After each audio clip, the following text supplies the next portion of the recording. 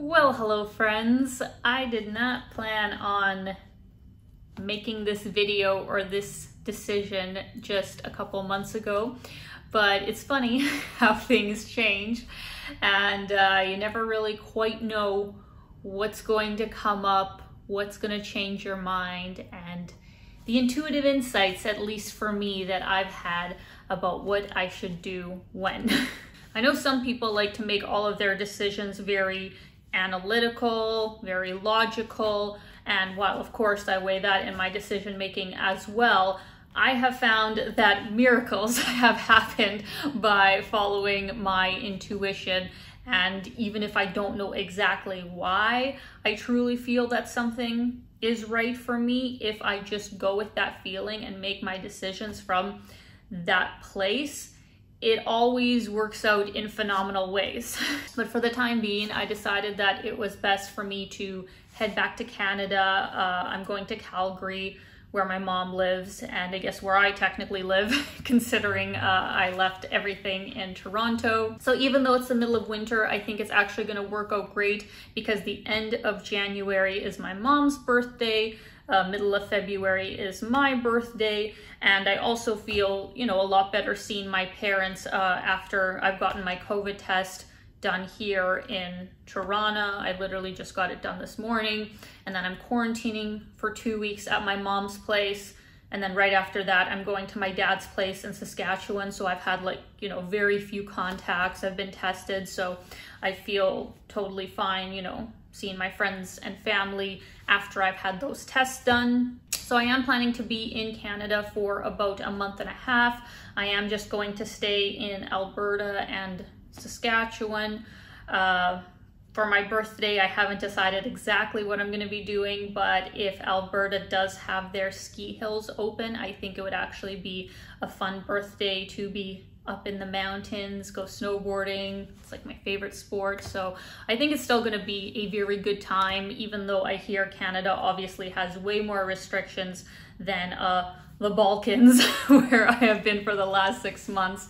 And it's going to be interesting to go back to Canada because if it's anything like what I've, you know, been reading on social media and online is people have so much fear, you know, around this whole situation. And obviously, I'm not saying it's not serious, but it's like going into a twilight zone when uh, you've been here in the Balkans where it's so lax and uh, people really don't take it that seriously to you know then go back to Canada where it seems like people are very afraid of doing anything. So yeah it's just going to be interesting to go back to that and see if that's actually you know the kind of environment that I want to spend too much time in because I am you know planning on leaving fairly soon after I get back but most likely after that, it's going to be quite a long time until I go back to Canada. But yeah, I just wanted to let you guys know that that's what is happening next. I'm still going to be uh, producing content while I am in Canada because so many of you actually said from my last year's content when I was in like Saskatchewan and Alberta that you really enjoyed, you know, seeing what life is like in the middle of Canada and the farm where my dad lives. So I will definitely keep producing content while I am there. And then probably by mid-March, we will be back to regular traveling. I have a dream destination that I want to go to after that, but it's actually quite complex to get in there. So I'm not gonna say where that is quite yet because I really don't know if I can go there. But uh, yeah, I'll keep you guys updated on uh, what's happening. And if you do want like real-time updates, my YouTube channel is usually about two weeks behind because of the backlog of editing and getting everything posted on time. So if you want real-time updates of what I'm doing when, just follow me on Instagram at Alina McLeod. And in saying all that, I would like to thank you guys for supporting me on this amazing journey. It has been a wild ride the last six months here in the Balkans. Uh, never expected to be here, you know, in 2020, 2021, but I feel like it's the best area of the world I could have chosen.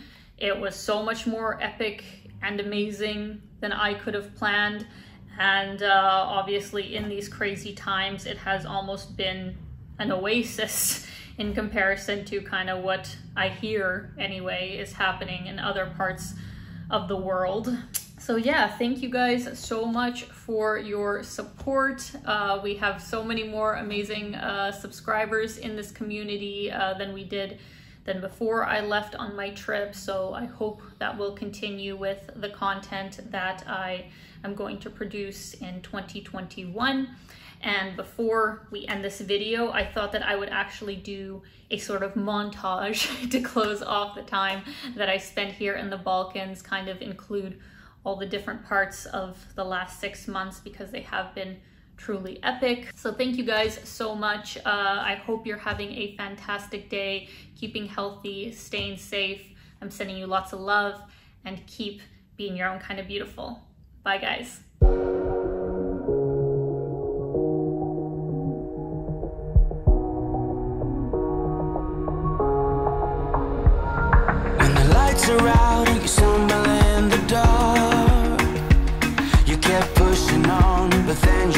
Too far.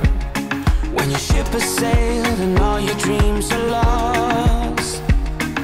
Everything is wrong, you feel like it's your fault. Just remember,